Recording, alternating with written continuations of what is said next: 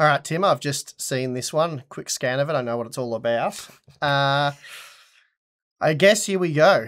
God, our Discord users hate us. I'm probably going to let you lead with this one Great. because that way, if it goes poorly, I can be like, Hardware Unboxed doesn't condone any views or opinions of Right, Tim. We, right. we, we've let Tim go. we can cut your section out in editing later. I'll read it out.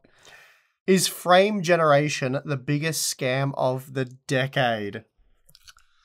I oh boy. I think we All have to establish first if it's even a scam. So this is a hot take, right? Like Mm-hmm. this is this is the Reddit. This is like a Reddit comment that you would see from a hater, or like a YouTube comment from a hater, sort of thing. Um, yeah, I think I agree. We have to establish whether it's a scam or not, Mm-hmm. and I would say it's not a scam. A scam is something that's you know pretty deceptive, um, is very misleading, and you're sort of not getting what it's advertised. I think that ad- advertising around frame generation hasn't been great. Like the whole it improves performance. That was deceptive angle. for sure. That was deceptive. The whole your frame rate goes up, therefore your performance is better, wasn't accurate in my opinion, or at least wasn't fully accurate. Mhm. But most other aspects of how it was described is how it works. So things like it is genuinely generating the frames from no input from the game engine is that is effectively how That's it right. works. It'd be a scam if it wasn't doing that and just artificially doubling the number. Yeah, exactly. That Like if it was duplicating the frames instead of generating like an interpolated intermediary frame between two frames. And I, again, I just said that it doesn't use input from the game engine, which isn't fully true. It does use things like motion vectors to inform how to do the the generation part. But I, hopefully, you know know what I meant there. So most of what uh, NVIDIA was saying about how it works is how it works. Things like it, it's built off of DLSS technology. It sort of is using the tensor cores and an AI network to assist with the process. All of that seems to be accurate.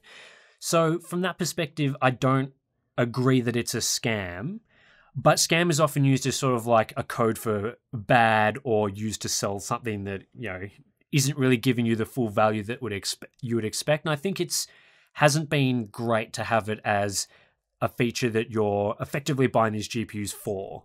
Mm-hmm. Because 40 series, in many respects, there hasn't been too many upgrades over the 30 series, so frame generation has been elevated to an additional level than it otherwise would have been mm-hmm. if the generation was really compelling in terms of like cost per frame and performance and things. So, yeah, from that front, that hasn't been great, but you know, I think scams are more things like you know nvidia downgrading like we in a previous question we've just been talking about like a gt 1030 ddr4 that is much more of a scam Mhm. whether or not that is a scam is still i don't know would that quite get over my threshold but it's way closer Yeah, it is. um, so yeah, I don't, I don't think it's a scam, but like I get where this question's coming from, right? Mhm. Like people wanted a real performance uplift, a cost per frame improvement with a new generation, and what they got instead was largely Highly frame generation. which yeah, like I can understand why you'd be very disappointed with that and frustrated and annoyed and think Mhm. that it's yeah not great. So yeah, but I mean. There are some circumstances where using frame generation does improve the experience. So I don't want to sit here saying it's all bad and useless technology and is constantly terrible, because there are some scenarios where it does improve the overall package.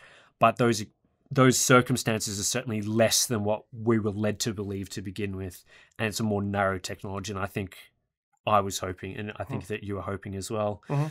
So yeah, very inflammatory comment there, but hopefully we've sailed the sea smoothly on that one. Hopefully, I don't have to let Tim go after this Q and A series. That's all right. I've already bought a box of my belongings.